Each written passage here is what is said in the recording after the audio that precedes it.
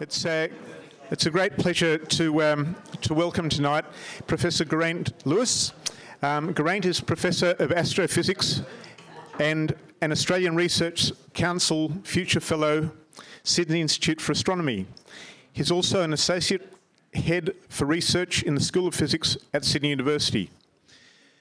Geraint will discuss the secret lives of galaxies. The Milky Way is a cannibal.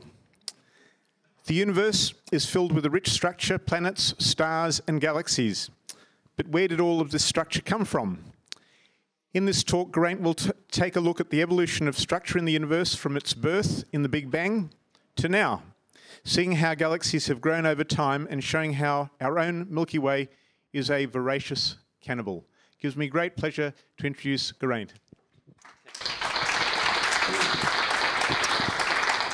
Okay, thank you. So, uh, thank you for inviting me here tonight. Um, so, I'm a cosmologist by trade. I, I, study the universe, I study how the universe evolves. And one of the key things I like to understand is where did all the structure we see in the universe come from? Okay, so what I'm going to do tonight is give you a very quick overview on where we are with understanding the universe and where we think our big current problems are. So, the starting point is to basically know our enemy. What is it we're actually going to be talking about? And it's these objects called galaxies. Now, we live in a galaxy. Our sun is just one in a roughly 400 billion stars that live together in this patch of the universe. And rather embarrassingly, we, you know, in the last 40 odd years, right, the furthest we've been is to the moon, which is next to nothing. If we could step outside our own galaxy and look back, we'd see a picture something like this. So, this is, I said, roughly 400 billion stars. Our Milky Way galaxy is a spiral galaxy, so we see it's got a very beautiful spiral disk, and it's quite immense, okay? It's 100,000 light years across, and it's you know a very large object in the in the local universe. And in fact, we have one other large galaxy nearby us, Andromeda, which is this a, this is a picture of, which is a, almost a mirror image of our own Milky Way galaxy. Galaxies are very interesting things because they harbor basically all of the stars, and they come in all sorts of shapes and sizes. So our Milky Way is considered a relatively large galaxy, but there are other kinds of galaxies in the universe. So if we take a look at the extremes, uh, on this side we have what's known as a giant elliptical galaxy. So again, it's just stars living together in the universe, and the largest of these galaxies can have over a trillion stars living together. But on the other end of the spectrum, and this isn't on the same scale, we have lots and lots of these tiny little guys called dwarf galaxies. So just like elephants and mice, right? We know there are a few elephants in the world and there's lots and lots of mice. Galaxies are very similar. So these big guys, the, the giant elliptical galaxies, they're very rare. But dwarf galaxies are very, very common. And the typical galaxy in the universe, if you had to pick a galaxy at random, would be a dwarf galaxy with only a million or a few tens of millions or possibly a billion stars. So these are piddling things, astronomically speaking. So we can see that in our local universe, we have galaxies, but when we look out deeper into space, there is a whole range of galaxies from large to small. Most of them are very, very small. One of the things that's kind of interesting is that if you look just in our own patch of the universe, something called the local group, as I mentioned, we have our own Milky Way galaxy, which is big. Two million light years away, we have the Andromeda Galaxy, which is thought to be slightly larger. But if we could make a 3D map of our local group, we see that it's actually kind of busy. And I apologize for the busyness of this picture, but it's, um, this is because our universe is three dimensional and galaxies are spread out in three dimensions. And so, try, try and show where everything is, you've got to have that additional component of height as well as uh, distance in two directions. But this is the key thing that we have. So, this spot in the middle here, this is our Milky Way galaxies, that, that black dot. Andromeda, which is the nearest large galaxy to our own, is this other black dot up here. And all of the other dots that you can see are dwarf galaxies. Okay? So our local group of galaxy has two large galaxies and then roughly 100 dwarf galaxies living, uh, just moving around as well. And what's kind of interesting is that the dwarf galaxies aren't just randomly scattered about, but you know that there's those fish that like to stay close to sharks, right? Our dwarf galaxies like to stay close to the large galaxies. So this is the Milky Way galaxy, and we have all of these galaxies living near us. And some of them you can actually see with the naked eye, of course. LMC is Large Magellanic Cloud, SMC is Small Magellanic Cloud, which, of course, if we try to look at for these in a Sydney street, you're not going to see them. But if you can get somewhere dark, you can actually see these galaxies with your naked eye. But there are roughly 30 galaxies in the nearby proximity of our own Milky Way. The other thing that happens is that Andromeda is no different. It's got its own group of galaxies, and it too has around 30 or 40 little dwarf galaxies inhabiting the universe with it. And as a scientist, we want to know why, right? Where did this come from? Was the universe you know, basically just born this way? Or did this structure arise? So that's one of the key things that we want to find out. We have clues, though, by looking not just at our own local patch of the universe, but looking at the universe in general. Now, as I mentioned here, this is called the local group. And as you can probably imagine, as well as the local group, there are other groups. And in fact, the majority of galaxies in the universe find themselves living in groups. Galaxies don't like to be alone. So wherever you find one, you tend to find others, and they tend to have friends.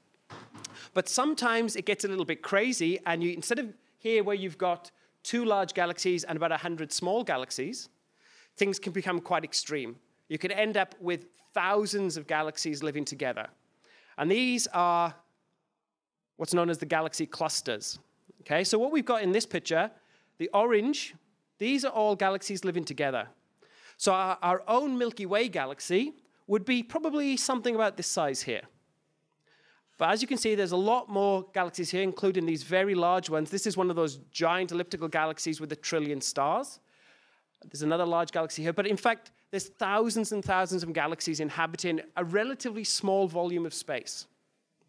And in fact, these guys are, are quite incredible because we know that they have an awful lot of mass caught up in them. Okay, so if you talk about what the most massive thing is in the universe, it's a galaxy cluster. Right? So all those galaxies plus all their associated dark matter, all that material we can't see, all live together in this region of the universe. How do we know that? Well, because the gravity is strong enough to bend the light that passes these massive objects. Okay? So I don't know how good your eyes are, but as I said, the orange guys here, they're the galaxies. But if you look very carefully, you can see lots of streaks. Okay? Do, do, do, all of those? All of those are not there. They're mirages. Okay? They're images of more, much more distant um, sources that have been stretched and magnified by the action of gravity in these uh, clusters. So we can actually weigh how much mass is there by working out um, essentially how much these images have been magnified. Okay? And we could, as I said, we can work out that a lot of mass is, in the universe is locked up in these clusters. So we know that we have galaxies, galaxies live together, you have groups of galaxies, and then you have clusters of galaxies. And again, being a scientist, the question I want to know is are these things just randomly scattered through space, right? If I just go out there, do I just encounter a galaxy cluster here and a galaxy group there? And the answer is no. Right? The universe isn't randomly scattered. And we, we know this because what we've gone and done is we've gone out with our telescopes and we've measured the distances to hundreds of thousands of individual galaxies. And when you plot their distances up, you can see what kind of structure they have.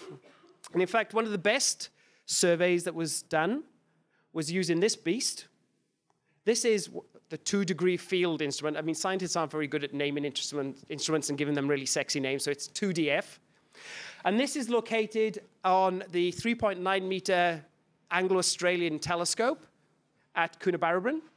And this telescope, which is 40 this year, is still doing cutting edge research, okay, on a shoestring. And literally on a shoestring. If you went and had a look at this, maybe it's not shoestring, but it is definitely shoestring from the local IGA, right? It's string to hold the, the robot together that does a lot of the work here. So what this picture shows you is in the middle here, this is Coonabarabran, the center of the universe. This is then looking out into the universe and plotting an individual point for each of the galaxies that they looked at. So there's two pizza slices, one look in one direction, one look in the other direction, okay? And then they've gone and color-coded the distributions based on density. So blue is less dense, uh, green is higher density, and red is the hi highest density. And if you just had your galaxies and you thought that they'd be scattered at random, these should, pictures should look pretty uniform. but they don't. What you can see is that there's a spongy structure to the universe. And what we've got are big holes, okay, which astronomers call voids because we can't think of anything more exciting to call them. And then you have these red regions, which are clusters, and superclusters, which are clusters of clusters, right? And then in between, we have this other structure, which are known as the filaments, which join the cluster, clusters together. So the universe contains a lot of structure on all scales, from dwarf galaxies up to, and the scales here, right? This is now 2 billion light years. This is a fair old chunk of the universe that we're looking at. So the universe has structure to it, a lot of rich structure and a lot of scales. And the question is why? Because we've known for, you know, it's rapidly approaching 100 years that the universe is finite in time and it was born at some point in the past. And of course, this event is known as the Big Bang. And we can use the laws of uh, physics to understand what the conditions in the universe were like back then. But one of the things that we know is that the universe was hot and dense and pretty featureless. Okay? So you had this hot, dense gas that was in the initial parts of the universe, and then the universe has cooled down, and somehow today we have planets, people, stars, dwarf galaxies, big galaxies, clusters, etc., etc. So where did all the structure come from in this effectively featureless soup that was in the early part of the universe? So this is one of the areas I've worked in for the last few years, and, and there's a there's one dirty secret, not about galaxies, but about research. I think a lot of people don't appreciate, and I know my students don't appreciate it when they come to start their degree at uh, university. I guess there's still a lot of feeling that scientists, like you know, somebody who studies cosmology, is either sitting at a telescope or is sitting there with a paper and pen trying to solve some very, very difficult equations. And the secret is really that we're all very, very lazy, right? And we don't like doing maths as much as the next person. And what we like to do is we like to take our mathematics and we give it to somebody else to solve, somebody who's a lot quicker than us at solving mathematical equations. We do use postgrad students for the intermediate step. I,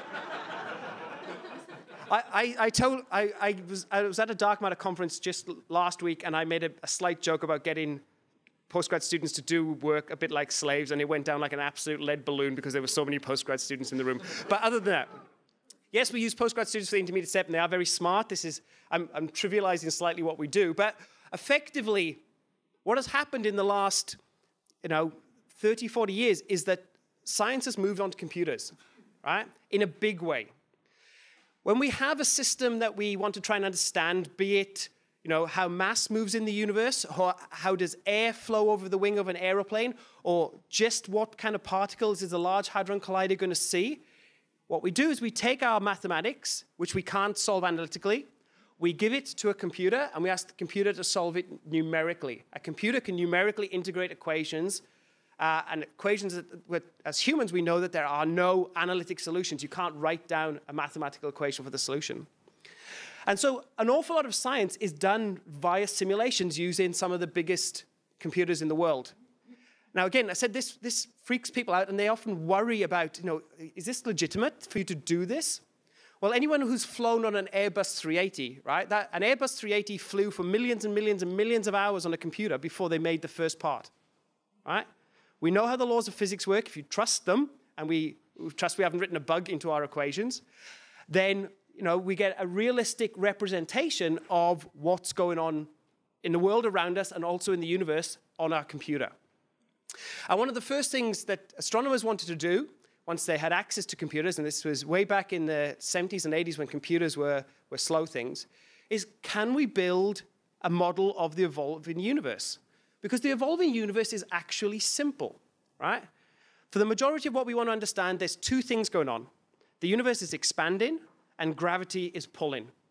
So if we can take a, a model of our universe as we knew it at, just after the Big Bang, put it in a computer, have those really difficult equations, get the computer to solve it, then maybe we can just see how we'd expect the mass in the universe to evolve.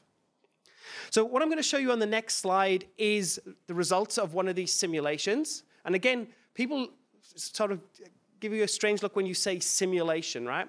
but it's a synthetic universe. We build synthetic universes. In fact, my students build synthetic universes before breakfast often, right? It's, it's just what we do.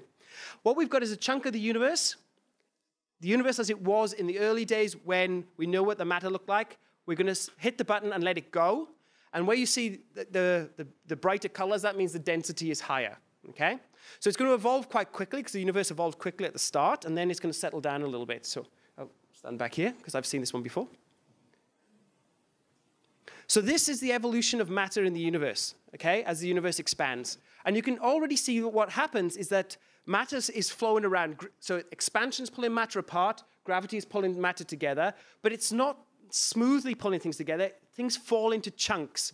Chunks rapidly form, and chunks join together to give you bigger chunks.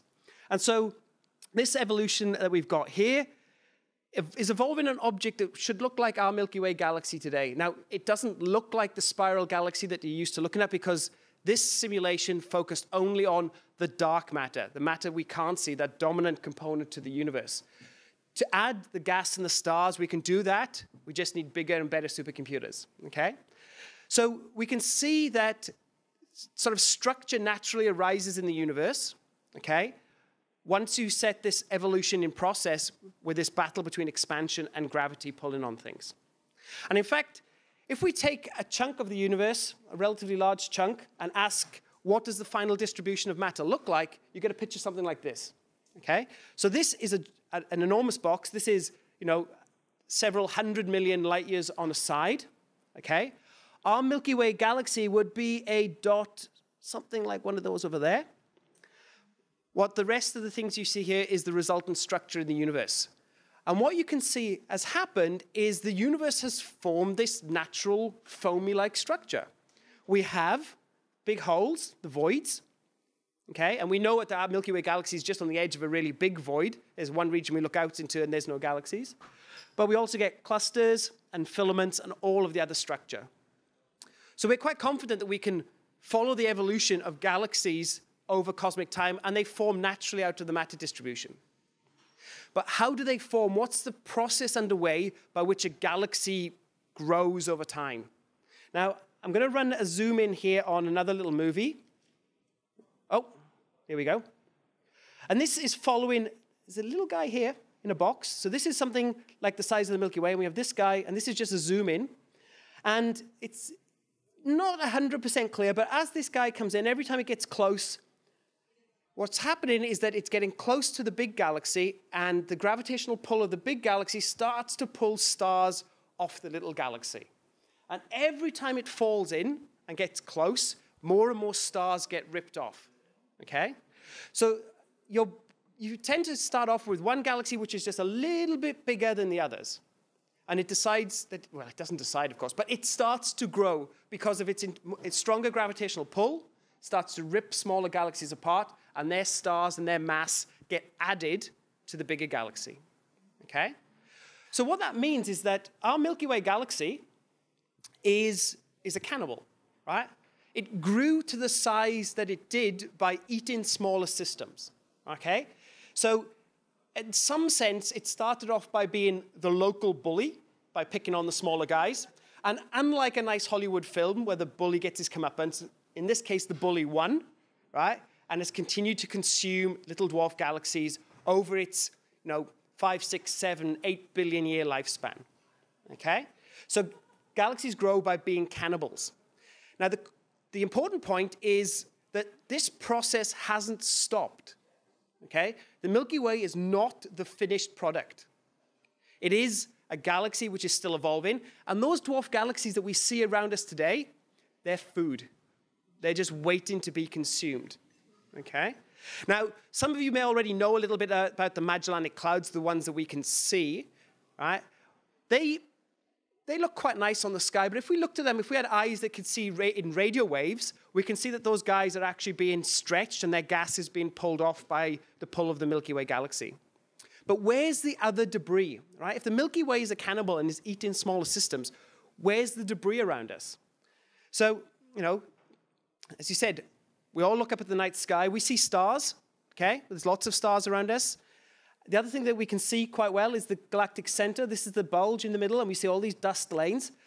But where's the debris? Where's all the stuff that we say is currently being ripped apart? If this picture is right, we should expect to see debris. And the big problem is, is that dwarf galaxies are faint, right? As I said, only a few million stars.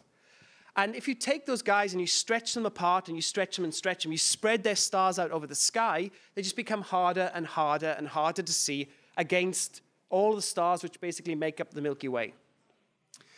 So it wasn't until 1994 that we discovered the first real evidence of something currently being consumed and really being consumed by the Milky Way.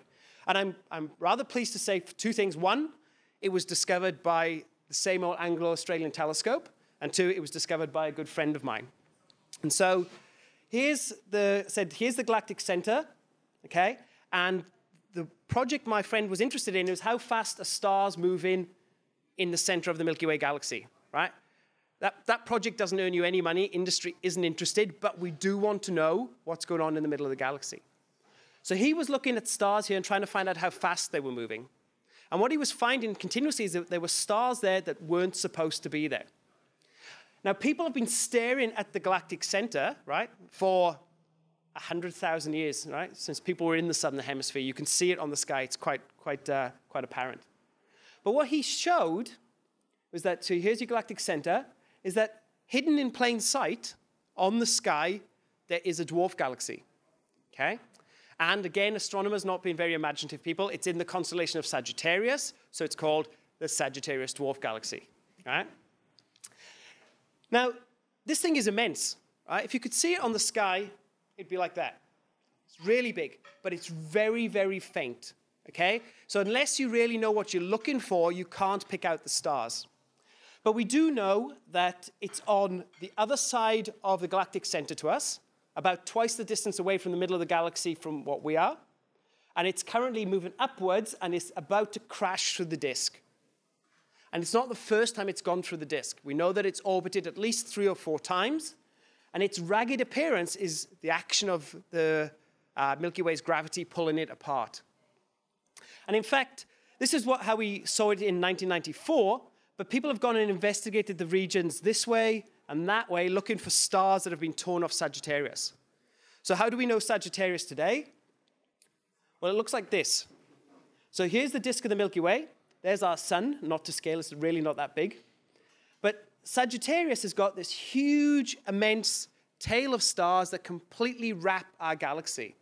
So it's been around several times, and every time it's gotten close, we've ripped off stars, and those stars have continued to orbit, and we have wrapped around us completely this one giant stream of stars. All of these stars, right? Eventually, the stream's going to dissipate. All the stars are going to get merged into our own galaxy. And in a few billion years, we will not have known that uh, Sagittarius even existed. It'll be completely dissolved. All of the stars will have joined in the Milky Way. Okay? Now, one of the side things which is kind of interesting is um, we think, but not 100% sure, but we think that the sun was born inside the galaxy. Okay, so that's good, you know. But its parents were quite possibly immigrants. Right? And we don't have a Nauru that we can send them to. But it's, it's true, right? At some point, the lineage of, of the stars, the material that eventually went in to make up the sun, which makes up you, were possibly born in another galaxy billions and billions of years ago. Okay? So we could all be immigrants to this galaxy at some level. Okay? Now, I said one of the other key things that people have managed to do in the last few years is, years is survey the sky, right? And it sounds like uh, an easy thing to do. Right? Survey just means look and see what you can find. But the big problem was we were to look at large areas, we could only use photographic film, and photographic film doesn't allow you to see deeply. But of course, there's been this surge in electronic detectors, right? Mobile phones really help to have little cameras with electronic detectors. And there's been a growth in technology for mobile phones and for digital cameras and for astronomical devices to allow us to de develop electronic detectors to look at larger and larger chunks of sky. I'm just going to show you this picture here. Um, so this is a picture that was obtained with, with the Sloan Digital Sky Survey, right? So Sloan Digital Sky Survey is named after Sloan, Mr. Sloan. And this is, a, this is a good thing because Mr. Sloan paid money to build a telescope for the Americans to use to survey the sky and said, release the data to everybody. In America, Mr. Keck said, I also would like to give money and build telescopes for America to use. And now there's Mr. Kavli going around the world building Kavli Institutes left, right, and center. There's not one in Australia yet. I just would like to point out that we do not have a Rinehart telescope or Packer Institute, right? Actually, I'll take that back. There, there are Packer Medical Institutes, so it's not so bad, but there's no astronomical ones. So if you know any of these rich people, okay? Anyway, so this telescope is dedicated to just imaging the sky. Okay, so it just it's been taking snapshot after snapshot after snapshot. And this is an immense patch of the northern sky. Okay, not quite from horizon to horizon, but almost as far. And this is a picture of the stars that we see in the outer regions of our galaxy. So this is away from the disk. So our disk, all our disk stars sit in here. So this is out into the halo.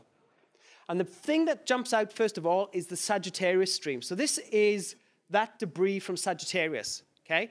Ripped apart and spread right across the sky. And now we've looked in the south as well. We can see that this stream goes right around in the south. So we're completely wrapped by this debris. The other thing you can see here is this really thin stream here, and that's known as the orphan stream. And it's called the orphan stream because we don't know its parents. Oh. Okay? As somebody said to me, we don't know its dad, and that's not normally an orphan stream. It would be a different kind of stream altogether. But we have the orphan stream, which we think was a, small globular cluster, a group of about a million stars, which has been completely uh, disintegrated. And wrapped around the outskirts of the Milky Way galaxy is the Monoceros ring. This looks like a small galaxy that's fallen in into the disk and has been ripped apart in the disk. And there we have the Hercules Aquila cloud, which is just another big blob of stars, which looks like it's a disrupting system. So we have, in this one picture, we have all of this substructure, plus we have even more, oops, go back one, even more, these dots here are previously undiscovered little dwarf galaxies, okay, that are scattered through our halo. So we can see that if we speak about what's going on in terms of the Milky Way today, we have um, streams from globular clusters, streams from uh, dwarf galaxies, streams actually wrapped up in the disk of the Milky Way. The Milky Way is still a cannibal. It's still consuming stars. Each one of these is bringing between 100 and 100 million star, uh, sorry, 10 and 100 million stars into the Milky Way. So it's growing steadily by consuming these, uh, these guys. Okay? So is our Milky Way weird? Right? Is our Milky Way bizarre in being a cannibal still? And this is a question we asked ourselves a few years ago because if it is weird, then you can't really learn much about the overall universe from just looking at the Milky Way galaxy. So, what we wanted to do was take a look at our nearest neighbor, which was that, that galaxy in Andromeda, and look to see if it too is still a cannibal. It should be eating the small galaxies around it. And to cut to the chase. We had to use a bigger, better telescope, and just happened to be in Hawaii, so we had to go to Hawaii now and again. So there's downsides to every job, right? this is the Canada France Hawaii telescope, which is on the top of Mauna Kea, right? It is a spectacular place to go. Has anyone actually been there? Yeah, it's a pretty amazing place to go. It's a very hard place to work, okay? To try and concentrate at 15,000 feet and not fall asleep, because if you fall asleep and your breathing slows down. You, uh, it's happened to me once. You wake up and you find you can't actually inhale anymore, and you have you, you know you basically almost stop breathing. It's a scary place to work at times, but it's got because there's so little atmosphere above it, you get fantastic images. So this is what we got using the Canada France Hawaii telescope with these dedicated um, images that they have there. So this is Andromeda, the disk of Andromeda, that, that disk that we saw earlier on. Okay? Now, just to give you an idea, that is the size of the full moon. Okay? If you could see Andromeda with your naked eye, it would be bigger than the full moon. What we've got in color here, these are all the stars that we detected. Okay? And you can see that just outside Andromeda, there's all this big smush of stars. And this is, again, a dwarf galaxy that's been ripped apart and has been added to the outer regions. and then we get giant streams and chunks and bits and pieces. And in fact, the surroundings of Andromeda are a train wreck. Okay? There is just so much debris that it's hard to find anything else there. Or wherever you look, you just find debris. Okay? So, in line with that picture, Andromeda is also a cannibal. And it's not just a cannibal of all these little dwarf galaxies, but there's some bigger galaxies in the environment. These two guys up here. This is, again, astronomical names NGC 147 and 185. I'm sure you'll remember that. Yeah? You can see that this guy's got this big S of stars through it. It got too close to Andromeda on its last orbital pass, and it's been pulled apart. It's going out, it's going about to fall back in, and each time it falls back in, it's going to get a whack, and it's going to start falling apart. This guy, this is M33, uh, Triangulum is a, another name for it, and it is a large-ish galaxy. It's only one-tenth the size of these guys rather than a hundredth, and it too is showing signs of tidal disruption. So it too has fallen past and it will become a meal for Andromeda into the future. So last year, I think it was, this, this picture was doing the rounds on the internet. Okay? So this is, somebody said, well, what would Andromeda look like if you had, you know, four meter eyes and you could see the stars? Now, if you've been to the north, you can actually see the bulge of Andromeda if you know where you're looking. And it's one of those things that, you know, if you look at from the side of your eye, you can actually see the center of the galaxy. It's very faint, but you can see it. If you could actually just look at Andromeda and see the disk, then, as I said, it would be larger than the full moon, okay? Which is pretty spectacular. But what happens if you add all of that debris? Well, if you could see that, and you'd need pretty big eyes to see it, our entire sky, essentially in one direction, would be nothing but debris from Andromeda. Okay? The thing is huge and it's tearing apart galaxies and, right, it's growing. So it's growing over time. Okay? So Andromeda is a cannibal, we are a cannibal. Right? So this is good. This is good for us, us astronomers because we had this idea about how galaxies have grown over time and they should still be cannibals. And we look at the Milky Way and Andromeda and they're cannibals. So our ideas work. And I should say that these ideas, the starting point is just before inflation. Right? 10 to the minus 34 seconds after the Big Bang to today, 14 billion years later. That's the line of physics that we follow to get to galaxies today, which makes physicists feel good, right? So, so we have a little woohoo. But the, the, the question is, and the question that I think all people should be asking themselves, especially cosmologists, right, is what keeps us up at night? Right? And it's not observing at a telescope, okay? So what keeps cosmologists up at night? So, uh, first question, does anybody know who this is? He's English. He's an astronomer, actually, and he was a movie star in the 1940s. No? Nobody remembers the great astronomers. Right? So this is a guy called Will Hay. Will Hay? Anyone? No?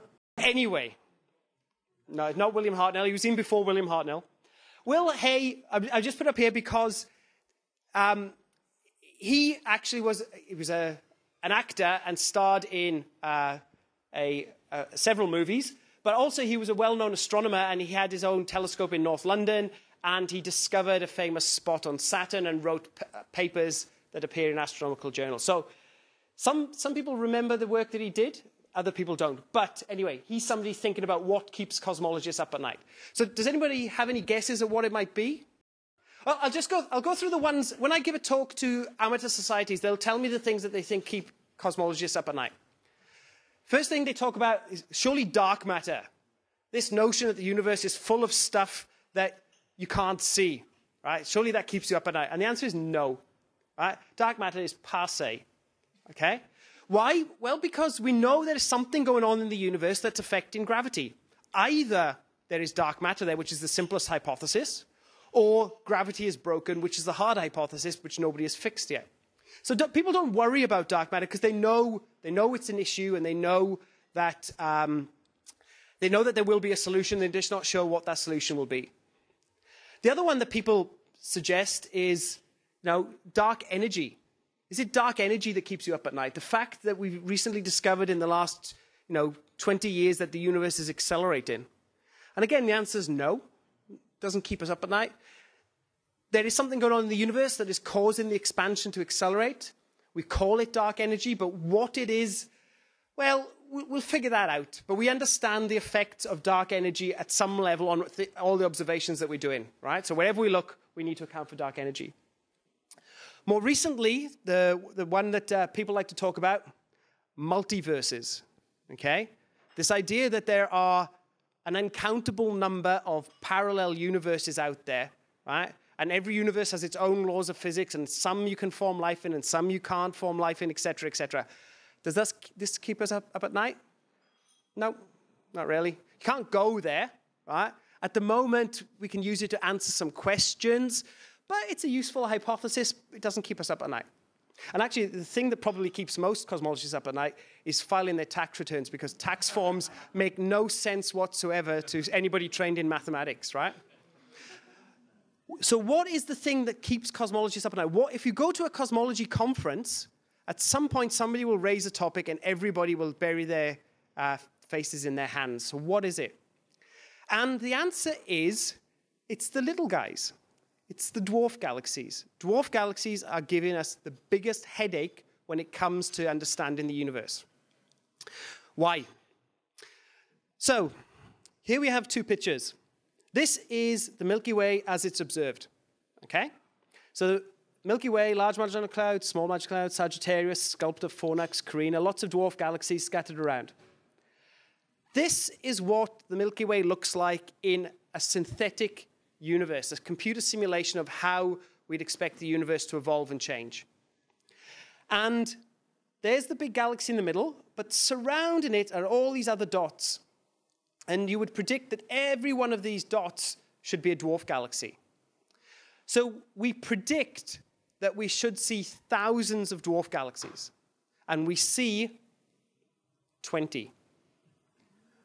So, where are the missing dwarf galaxies? Okay? And astronomers have struggled with this for over 15 years, and they've almost convinced themselves that there are two answers, and neither they really like, and they're not sure which one to go with. Okay? So the first one is to do with the fact that this simulation here, as I mentioned, this is the dark matter, right? This is that stuff that controls gravity. What we need to do is add gas and stars. I said we could do that now. So this is a evolution of a universe with star, dark matter, gas, and stars.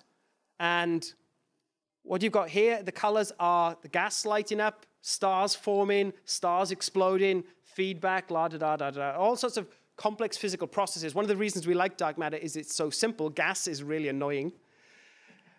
But you get all these processes and going on, and what you realize is if you've got a little dwarf galaxy in the early universe, and it forms a giant star, right? So the gas collapses and it creates a giant star, and that star explodes. The gravity of that dwarf galaxy can be so weak that it blows all of the gas out of the dwarf galaxy and basically blows away all the stars, right? There's no more stars in it. So people say, well, well, maybe this is the solution, right? Maybe the solution is that they are out there, but you can't see them. Okay, so there's a bunch of people who have said, yep, that's what it is. There are dwarf galaxies out there, but we can't see them because they haven't got any stars in them. Okay? The big problem is, is that I said this physics that goes into the gas here is extremely complicated. And there are some people who think that now we know the answer, i.e., that there, we don't see dwarf galaxies, that they've twiddled the dials and, you know, such that we don't get to see dwarf galaxies in the simulations anymore. But really, they're not making a prediction, they're making a post diction to what we should be seeing. Okay? So people are really worried by this, but the alternative is worse. The alternative is you start to play around with the properties of, firstly, either dark matter, and you make it warm dark matter rather than cold dark matter, which warm dark matter means it moves around at reasonably high speeds. And if you do that, you can wipe out the, formation of dwarf galaxies. Or you play around with the laws of gravity. And of course, when you want to play around with the laws of gravity, you're taking on Newton and Einstein. So you better be bloody good at what you're doing if you're going to convince anybody that what you've done is right. But there are other problems, okay? over the last few years, people have realized that if you take a look at the dwarf galaxies surrounding the Milky Way, we expect them to be randomly scattered about, but they're not. We actually see them sitting in a very, very well defined plane. Okay, so you can, also, you can see it here as this thing rotates around. The Milky Way is in the middle, and these are dwarf galaxies and a few other objects. And you can clearly see that there's a preferred plane. Okay? No cosmological theories as yet predict that we should expect to find dwarf galaxies in a plane. So this is now something that is starting to cosmolo- start to give cosmologists sleepless nights. The problem is, is that if we go to our neighboring galaxy, Andromeda, and I won't go all the way through this movie because it, it, was uh, made by a friend of mine and it takes forever to run. Over the last three years, we've actually managed to work out the three dimensional distribution of the dwarf galaxies in Andromeda, and we find that more than half of them also sit on a very well defined plane. Okay? Which is completely and utterly unexpected. Nothing you can do with your laws of dark matter allow you to do that. And this is starting to give, uh, I said, give cosmologists a serious headache. So let, let, me just show you where the dwarfs appear. So this, this is Andromeda again. This is our survey region. These are the dwarf galaxies. And these guys down here, hopefully they'll go red at some point. There they are. I know it doesn't look as spectacular, but they all sit on a very thin, well-defined plane. And in fact, this year we just had a paper published which showed that these kind of distributions don't only occur for the Milky Way and Andromeda, for, for lots of other galaxies as well. So there's something weird going on, not on the large scale universe, which we seem to understand, but on the small scale universe. Okay? It doesn't behave the way we expect. As I mentioned, nobody has a legitimate solution. Okay? Nobody knows if you want to, do you want to play with dark matter? Well, you can't produce narrow planes if you just play with dark matter. Is particle physics wrong? Is there something about dark matter that we, we are missing at a fundamental level? If you talk to the particle physicists, this, this really upsets them if you suggest this, but um, it might be a, a, direction that we need to, go, to examine. And the one which is, which is gaining ground but is also meeting the faceless resistance is this notion that we've got gravity wrong at some level. Okay? And if we have gravity wrong, then we do have to go back to the drawing board a little bit to how we understand the way the universe evolves. Okay? So this, as I said, is I just wanted to point out, this is where we, we find ourselves at the moment in that we do not know where the small scale structure in the universe is coming from. So I've got just a few more things I wanted to tell you. Now, the question earlier on was what's going to happen to the future? When you build synthetic universes, you don't have to stop them at today, you can run them into the future. And that's what we do. And what we know is, I said, the Milky Way is a cannibal. But we inhabit the local patch of the universe with another large galaxy, which is Andromeda. And Andromeda is approaching us at 300 kilometers per second. And if you do the maths very quickly, three billion years Andromeda will be here. Okay? Now, Andromeda is in a little dwarf galaxy, so it is going to take this being torn apart thing lying down. And in fact, there's going to be an almighty collision between two galaxies of almost equal size.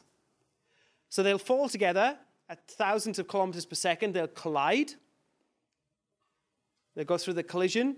And the first thing that happens is that beautiful spiral disk that defines the Milky Way gets completely ripped apart. Okay? Now, in four billion years, our sun will be an old age pensioner, but it will still be going. It's got about another five billion years worth of life left.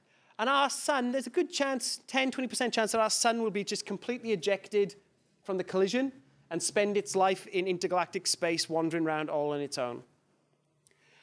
The collision hasn't finished though, right? These guys come crashing together. Okay, so we'll just see what's going on. Stars start spreading out. And the other thing that's really cool is in the collision, stars don't hit other stars. Okay? Stars are small compared to the gaps between stars. So stars go rushing past one another. But our Milky Way galaxy contains not only stars, but also contains gas clouds. And gas clouds don't go rushing through gas clouds. When gas clouds hit gas clouds, they collide, they collapse, and they form hot new stars. So during this stage of the collision, we know what our Milky Way and Andromeda is going to look like because we can see examples of this in the universe. So this is the uh, Hubble Space Telescope image of um, the antenna galaxies. So this is what it looks like in a raw image. This is now zoomed in. So you can clearly see you've got two things interacting here. And all of those um, little blue stars there that you can see, they're actually giant stars which have been formed in the collision. So our galaxy is going to light up. It's going to look pretty spectacular. It's going to look like a Christmas tree for a little while. But just like uh, uh, James Dean or Kurt Cobain or Amy Winehouse, judging the generations around the room, these stars, they live fast and they die young, right? So they live for a few million years, they go supernova, and bang, they go out. So the collision is going to be quite spectacular, and then it's going to continue, and all the gas is going to be used up, but the, every collision that we're going to have is going to continue until all of the structure that we saw previously has gone. Okay? So we go from having two beautiful spiral galaxies to having one effectively shapeless blob. Okay? An elliptical galaxy, which some people like to call them. All right? So some stars get thrown out, this thing will eventually settle down.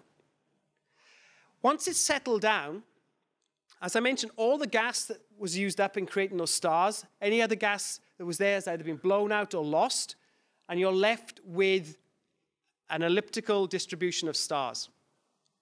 And there's nothing else for that distribution of stars to do, okay, but to get older.